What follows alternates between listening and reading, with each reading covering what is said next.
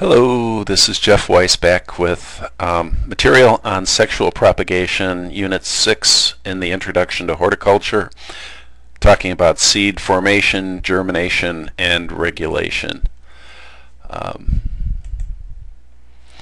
upon completion of this unit, you should be able to discuss the process of propagating and the regulations around commercial seed production, uh, the factors that affect the viability and longevity of seeds, especially seeds in storage, describe the environmental conditions that affect seed germination, and to be able to discuss methods for improving seed germination and plant performance. Uh, before we go on, I want to just um, mention that I'm trying to take your feedback trying to take your feedback to heart about uh, the, the length and the kind of boring nature of some of these lectures. So what I'm going to do, I'm going to break uh, today's lecture into three parts. Uh, try to keep it lively, and uh, I'm also investigating uh, the use of a different uh, recording tool um, that will allow you to move around the recording with a little more flexibility. However, um, this tool that I'm currently using, Camtasia Relay, is integrated into the CLC um, uh, IT environment. So it may not be easy to change and I can't guarantee it, but I'll try. We'll see if we can make this better. So um, key terms and concepts uh, will all come into play during the lecture, so I will not uh, uh, talk about any of these right now. Um, and just to kick off the material, um, there's three big uh, reasons why uh, horticulturalists propagate uh, plants through seeds. Uh, the first is to preserve um, the genetic material, the germplasm, um, for future uh, research or for use in uh, planting. So uh, breeding and cultivating plants both require uh, a supply of seeds in order to move forward. It's the raw material, um, as you know, for uh, most of the horticultural plants, although, as we'll study next week, um, they can also be um, be spread by um, asexual propagation. Uh, seeds are uh, the main uh, um, generators used to produce crops. Um, the amount of seeds can be increased um, through um, seed production and then distributed uh, for use in crop production. And we're going to talk about the steps in uh, uh, developing commercial seed in a few slides. And then um, the third big purpose of uh, seed propagation is for use in uh, landscaping. Uh, many of the plants grown for commercial or aesthetic uh, or functional purposes are grown from seeds. And um, my little video um, that, that I've recorded is uh, a discussion of some of the uses of seeds that I produce for um, seeds for seedlings, for sale, and for propagation of uh, of plants on our grounds at the Nature Center where I work. So all, all of these are important purposes of seeds. So uh, a little uh, review from last week, a reminder about the genetics of seeds. Uh, first of all, um, uh, homogeneous crosses uh, yield a consistent phenotype.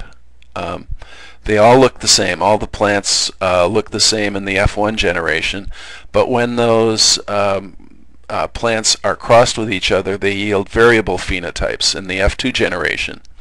And so it's these hybrids, since they're heterozygous, the only way to propagate consistently is through uh, use of homozygous seeds or uh, sexual or vegetative propagation, which again um, yield genetically identical plants and is the subject of next week's lecture. So what is a seed? A seed is a little miracle. It's a miniature plant ready to spring into life. Um, has use of seeds has critical uh, advantages of convenience and ease of handling, uh, easy to uh, sow mechanically and store than any of the other propagation methods. And uh, here is a cross-section of a seed showing the internal functions um, and the uh, cotyledons and the radicle um, are the main um, uh, parts that become the visible parts of the plant uh, uh, and are form uh, the embryonic plant inside a seed. Uh, another review slide uh, discusses pollination, fertilization, and double fertilization. These are the critical steps in going from um, one or more parent plants exchanging genetic material uh, into a seed which is uh, a fertilized um, embryo ready to form a new plant of the next generation. The next topic is seed diversity. Uh, I want to talk about it at two different levels. First of all, uh, the diversity of the genetic material inside a seed forms because of the union of materials from uh, two different sex cells, usually two different uh, plants, although some uh, plants self-fertilize. But this is the way that uh, um, traits are mixed and uh, uh, genetic diversity is uh, spread uh, spread between um, uh, plants over generations. And then the other type of diversity is the visual diversity, the, the variation of phenotypes, the wide variety of different shapes and sizes of seeds, how they um, disperse themselves, uh, their appearances, uh, how they work uh, as fleshy or dry to um, disperse themselves using um, uh, wind or water or animal uh, animals who eat the fruit and uh, disperse the seed. Amazing. Um, both levels of seed diversity are just totally amazing to me, which is part of the reason why I love plants so much. Now in producing seed for commercial purposes there's quite a formalized uh, process, uh, legal regulations and uh, organizations that are set up at the state level to govern and um, make uh, the purchase of seeds a uh, reasonably um,